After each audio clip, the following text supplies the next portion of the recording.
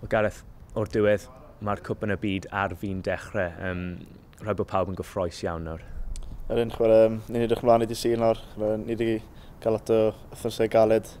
Mae mas yn Switzerland a mas yn Qatar yn treino'n galed, so yn credu mewn pawb yn edrych ymlaen nawr i'r um, gêm gyntaf di syl.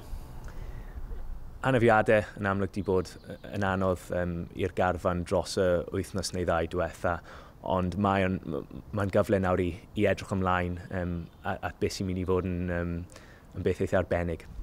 Ar eich, mae'n wedi bod yn anffodus wedi'n colli, um, colli Lee, Rhys a, a Eli, so um, ach, mae pob boes wedi dod o mewn i'r garfan i, yn, yn lle nhw da, ac mae'n credu bod um, mae still um, garfan digon, digon grif gyda ni. I ti'n bersonol, sut deimlad ydy o i, i fod yn, yn rhan o garfan fel hyn?